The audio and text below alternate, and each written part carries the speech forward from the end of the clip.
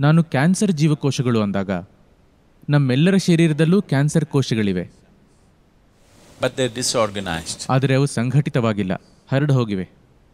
ಯಾವುದೋ ಕಾರಣದಿಂದ ನೀವು ಶರೀರದಲ್ಲಿ ಒಂದು ರೀತಿ ಸನ್ನಿವೇಶವನ್ನು ಉಂಟು ಮಾಡಿದ್ರೆ ಅವು ಸಂಘಟಿತವಾಗುತ್ತವೆ. ಚಿಲ್ಲರೆ ಅಪರಾಧಗಳಿಂದ ಸಂಘಟಿತ ಅಪರಾಧಗಳು. ಗಂಭೀರ ಸಮಸ್ಯೆ ಅಲ್ವಾ? ಚಿಲ್ಲರೆ ಕಳ್ಳರು ಎಲ್ಲ ಕಡೆ ಎಲ್ಲ ಪಟ್ಟಣಗಳಲ್ಲೂ ಇರ್ತಾರೆ. ಅಲ್ಲೊಂದು ಇಲ್ಲೊಂದು ಸಣ್ಣ ಪಿಕ್ ಪಾಕೆಟ್ಟು ಅದು ಇದು ಮಾಡ್ತಾರೆ. ಪ್ರಾಬ್ಲಮ್ ಇಲ್ಲ. ಆದರೆ ಅಂಥ ಐವತ್ತು ಜನ ಕೊಯಮತ್ತೂರು ನಗರದಲ್ಲಿ ಸಂಘಟಿತವಾಗಿಬಿಟ್ರೆ ಒಮ್ಮೆಗೆ ನಗರದ ಪೂರ್ತಿ ವಾತಾವರಣನೇ ಬದಲಾಗುತ್ತೆ. ಯಾಕೆಂದರೆ ಈ ಐವತ್ತು ಜನ ಸೇರಿದರೆ ಏನೆಲ್ಲ ಮಾಡಬಹುದು ಅಂದರೆ ನಿಮಗೆ ಹೊರಗೆ ಕಾಲಿಡೋದೇ ಅಪಾಯಕಾರಿಯಾಗಿಬಿಡುತ್ತೆ ಶರೀರದಲ್ಲೂ ಆಗ್ತಿರೋದು ಇದೆ. ಕ್ಯಾನ್ಸರ್ ಕೋಶಗಳು ಇವೆ. ಇವು ಕ್ರಿಮಿನಲ್ ಕೋಶಗಳು. ಎಲ್ಲ ಕಡೆ ಓಡಾಡ್ತಾ ಇರ್ತವೆ. ಅವು ಪ್ರತ್ಯೇಕವಾಗಿದ್ದರೆ ಸಮಸ್ಯೆ ಇಲ್ಲ. ಆದರೆ ಅವೆಲ್ಲ ಒಂದೇ ಕಡೆ ಸೇರಿಬಿಟ್ರೆ, ಒಂದೇ ಕಡೆ ಸೇರಿ ಗ್ಯಾಂಗ್ ಮಾಡ್ಕೊಂಡ್ಬಿಟ್ರೆ, ಆಗ ಅದೊಂದು ಸಮಸ್ಯೆ. ಹಾಗಾಗಿ ಪೊಲೀಸ್ನವರು ಚೆನ್ನಾಗಿದ್ದರೆ ಅವರು ಇದನ್ನು ಗಮನಿಸ್ತಾರೆ. ಪ್ರಾರಂಭದಲ್ಲಿ ಕಳ್ಳ ಪಿಕ್ ಪಾಕೆಟ್ ಮಾಡೋದ್ರಲ್ಲೇ ತೃಪ್ತಿ ಪಟ್ಕೋತಾನೆ. ಅಂಥ ಇಬ್ಬರು ಕಳ್ಳರು ಸೇರಿದಾಗ ಒಂದು ಮನೆಯನ್ನು ದರೋಡೆ ಮಾಡೋ ಯೋಚನೆ ಮಾಡ್ತಾರೆ.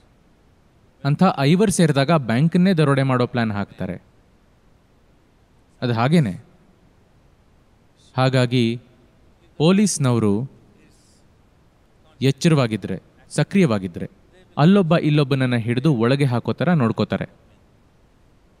ಏನೋ ಒಂದು ಮಾಡ್ತಾರೆ.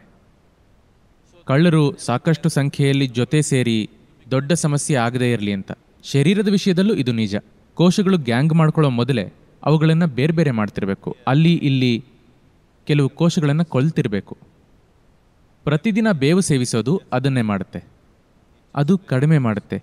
ಶರೀರದಲ್ಲಿರೋ ಕ್ಯಾನ್ಸರ್ ಕೋಶಗಳ ಸಂಖ್ಯೆಯನ್ನು ಒಂದು ಪರ್ಸೆಂಟೇಜ್ಗಿಂತ ಕಡಿಮೆ ಇಡುತ್ತೆ. ಆಗವು ಶರೀರ ವ್ಯವಸ್ಥೆಯ ವಿರುದ್ಧ ದಂಗೆ ಹೇಳೋಕ್ಕಾಗೋಲ್ಲ ಹಾಗಾಗಿ ಬೇವನ್ನು ಸೇವಿಸೋದು ಬಹಳ ಮುಖ್ಯ.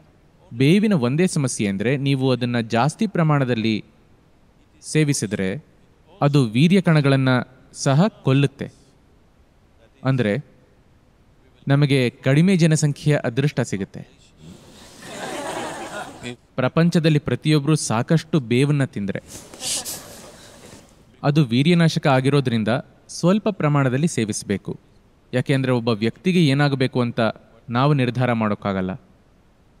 ಮತ್ತು ಮಹಿಳೆಯರು ಗರ್ಭಿಣಿಯರಾಗಿದ್ದಾಗ ನಾಲ್ಕು ತಿಂಗಳವರೆಗೆ ಅಥವಾ ಸೇಫ್ ಆಗೋದಕ್ಕೆ ಐದು ತಿಂಗಳವರೆಗೆ ಬೇವನ್ನು ಸೇವಿಸಬಾರದು.